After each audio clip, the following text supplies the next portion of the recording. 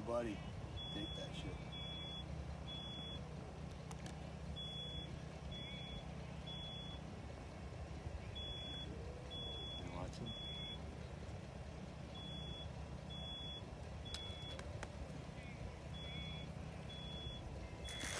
Holy shit. Is he still on there? Yeah, he's on there. He was not having it.